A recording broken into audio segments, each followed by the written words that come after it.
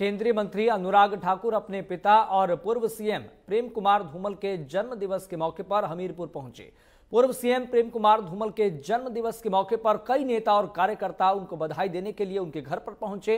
केंद्रीय मंत्री अनुराग ठाकुर ने इस मौके पर सभी का आभार व्यक्त किया। उन्होंने मौके पर पहुँची, जनता की शिकायतें भी सुनी। उन्होंने आश्वासन दिया है कि जल्द ही उनकी शिकायतों का समाधान किया जाएगा।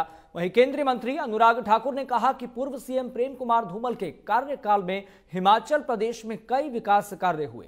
उन्होंने प्रदेश की कांग्रेस सरकार की नीतियों पर भी सवाल उठाया और कहा कि कांग्रेस पार्टी ने चुनाव के वक्त जनता से कई वादे किए, लेकिन अब तक उन्हें पूरा नहीं किया गया है।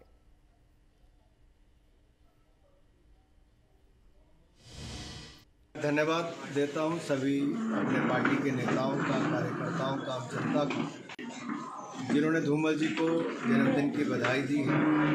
व्यक्तिगत रूप से भी आए हैं, सोशल मीडिया पर भी, मीडिया में भी, और फ़ोन पर भी बधाई देने का तांता लगा हुआ है।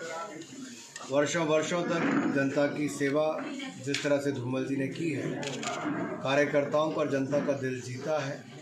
इसलिए सदा उनका आशीर्वाद धूमल जी के साथ रहता है। और हम सब के लिए एक प्रेरणा के रूप में वो है कि कोई गरीब से गरीब व्यक्ति हो, उसके काम के लिए अभी भी तो जितनी तत्परता के साथ कदम उठाते हैं। हम सब के लिए एक सीखने लायक भी है और कहीं ना कहीं जो विकास उन्होंने हिमाचल प्रदेश का किया, आज भी जनता के दिलों में वो उसी तरह से बसा हुआ है। गांव-गांव को जोड़ना पन बिजली परियोजनाएँ लगाना, सड़कों का जाल बिछाना बारह हज़ार कमरे स्कूलों में बनवा देना ऐसे अनेकों काम कि हिमाचल प्रदेश की आय को बढ़ाने का भी उस दिशा में जो कदम उठाए, आज भी जनता याद करती है।